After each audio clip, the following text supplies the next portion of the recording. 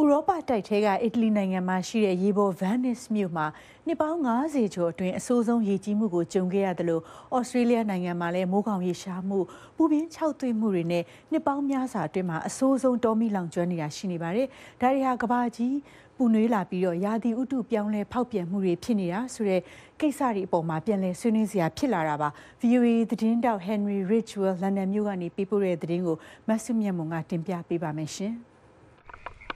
အီတလီနိုင်ငံရေပေါ် Venice မြို့ပတ်လည်စံချိန်တင်အောင်ဒီရေတွေတက်ခဲ့လို့မြို့ရဲ့80ရာခိုင်နှုန်းနီးပါးရေကြီးခဲ့ပါတယ်။မြို့ကအထင်ကရ St. Mark's Basilica ဘုရားရှိခိုးကျောင်းဆိုရင်နှစ်ပေါင်း1200အတွင်းမှာ6ကြိမ်မြောက်ရေကြီးမှုနဲ့ကြုံခဲ့ပါတယ်။၄ကြိမ်ကပြီးခဲ့တဲ့နှစ်20အတွင်းမှာရေကြီးခဲ့တာဖြစ်ပါတယ်။အခုလိုစံချိန်သစ်တွေတင်အောင်မြို့မှာရေကြီးခဲ့တာကရာသီဥတုပြောင်းလဲဖောက်ပြန်မှုကြောင့်ဖြစ်တယ်လို့ Venice မြို့တော်ဝန် Luigi Brugaro ကပြောကြားခဲ့ပါတယ်။ သိပ္ပံပညာရှင်တွေ Venice မြို့ကိုလာဖို့လိုပါတယ်။ဒီမှာအများအားနေပြီးတော့ရာသီဥတုပြောင်းလဲဖောက်ပြန်မှုကဒီမြို့ပေါ်မှာဘယ်လောက်တက်ရောက်မှုရှိနေတယ်ဆိုတာလေ့လာရပါမယ်။ကမ္ဘာပေါ်မှာ Venice မြို့ကရေပေါ်မြို့ဖြစ်တာမို့လို့ရာသီဥတုဖောက်ပြန်မှုကိုရှေ့ဆုံးကရင်ဆိုင်နေရပါတယ်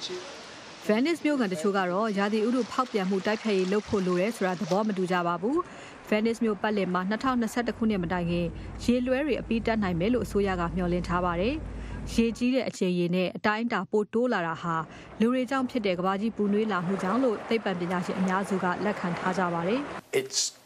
difficult to attribute individual events အခုရေကြီးတာတခုတည်းနဲ့တော့ဥရုရာသီပြောင်းလဲလာပြီလို့ပြောဖို့ခက်ပါတယ်ဒါပေမဲ့ရာသီဥတုပြောင်းလဲဖောက်ပြန်မှုရဲ့တက်ရောက်မှုတွေကိုတော့ခိုင်ခိုင်မာမာတွေ့နိုင်ပါတယ်ဥပမာ Venice မြို့ဆိုရင်ရေမျက်နှာပြင်မြင့်တက်နေတာအားလုံးသိပါတယ်ရာသီဥတုပူနွေးလာတဲ့အတွက်ကမ္ဘာသမုဒ္ဒရာတွေမှာရေခဲတောင်တွေရေပျော်ပြီး ရေမျက်နှာပြင်တွေမြင့်တက်နေတာပါအဲဒါကြောင့်ကံရိုးတန်းဒေသတွေမှာရေကြီးတဲ့အန္တရာယ်ပိုများပါတယ်အထူးသဖြင့်လောလောဆယ် Venice မြို့မှာရေကြီးတဲ့အန္တရာယ်ပိုတိုးနေပါတယ်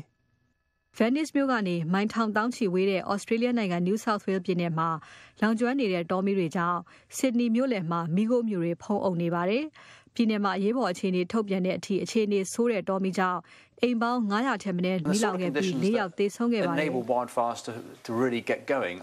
ဥရုရာသီဖောက်ပြန်မှုကြောင့်တောမီလောင်စေတဲ့အခြေအနေပိုများလာပါတယ်။ပူချိန်တွေမြင့်တက်နေပါတယ်။ပူချိန်တက်လာတဲ့အမျှလေထုဆိုထိုင်းမှုကကျသွားတဲ့အတွက် လေထုကပိုပြီးခြောက်သွေ့ပါတယ်။ဒီအခြေအနေကတောမီလောင်တဲ့အခြေအနေကိုပိုပြီးဖြစ်စေပါတယ်။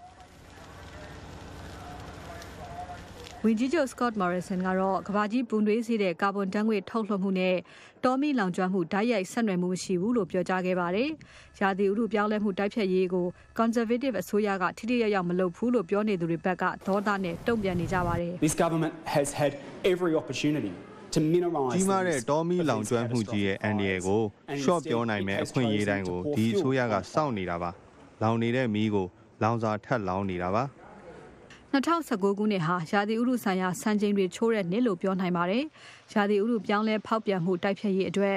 ကမ္ဘာနိုင်ငံတွေရဲ့ဆောင်ရွက်မှုတွေဟာနှေးကွေးလွန်းတယ်လို့သိပ္ပံပညာရှင်တွေကပြောပြီးအခုလိုရေကြီးတောမီလောင်ကျွမ်းမှုမျိုးတွေမကြာခဏထပ်ဖြစ်နေအောင်မယ်လို့သတိပေးနေပါတယ်ရှင်။